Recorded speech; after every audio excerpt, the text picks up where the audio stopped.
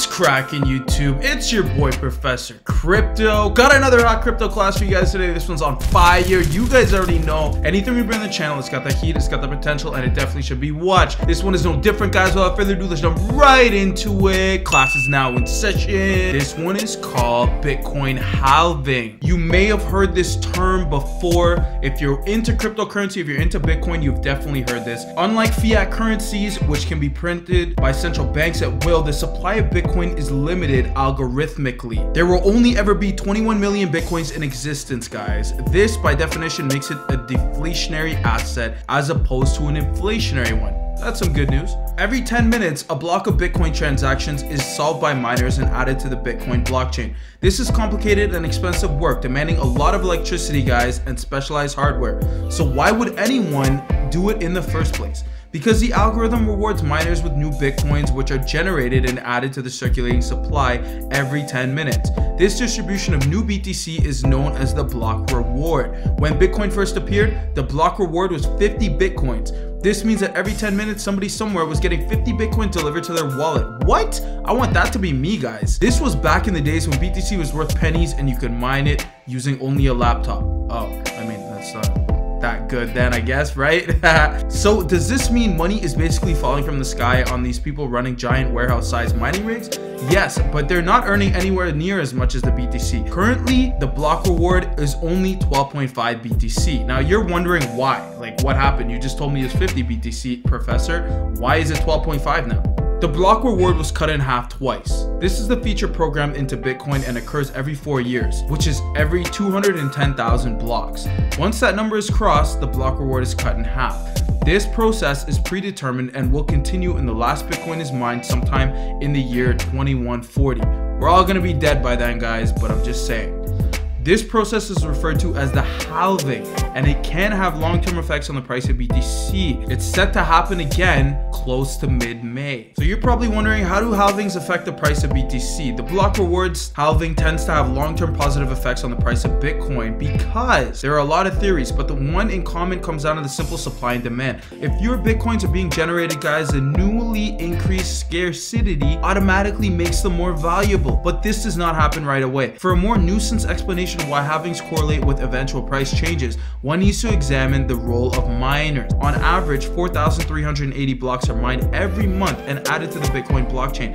As of this writing, the block reward is 12.5 BTC with a price of around $5,000, which I'll use for an example. So crunching the numbers shows that 4,380 times 12.5 times 5,000 equals about 273 million per month.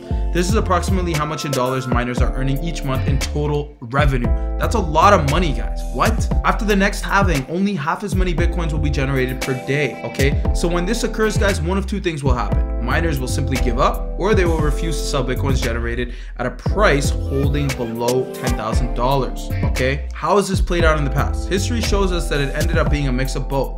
Some small number of miners will indeed give up, while the majority will instead choose to keep mining and hold. The first halving occurred in November of 2012 when one BTC went for around $11 USD. The following year, the price began to climb dramatically, reaching an all-new high of 1,100 in 2013. The price then crashed down to 220, 240 range, where it would remain for the next few years. The next halving occurred July 9, 2016. Bitcoin stayed in the price range of $580 to $700 for several months before slowly rising towards the end of the year. This time, some of the industry anticipated that the history itself might repeat itself. It, investors remember what happened in 2017, don't they? Yeah, I'm sure you do, guys. So what do we expect for the next halving that's about to happen? The first time, BTC went from around $11 to $1,100 and then back down to 220. Second time, BTC went from 230 bucks to around 20,000 and then back down to 4,000. So what about the next one? I can't really tell you guys for sure, but what I'm gonna guess here, what's gonna happen is that there is a clear correlation between Bitcoin reward halving and the price volatility afterwards. These supply side changes happen every four years and keeping in mind that can help build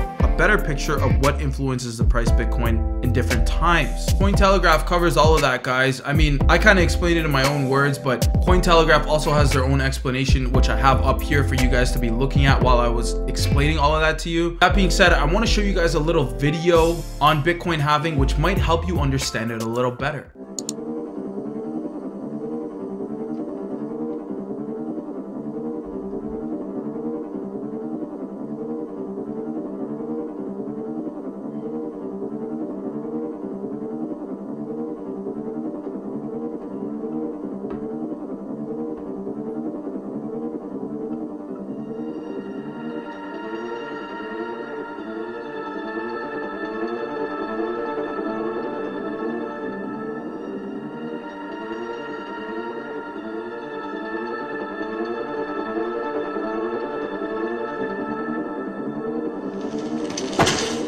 Pizza time.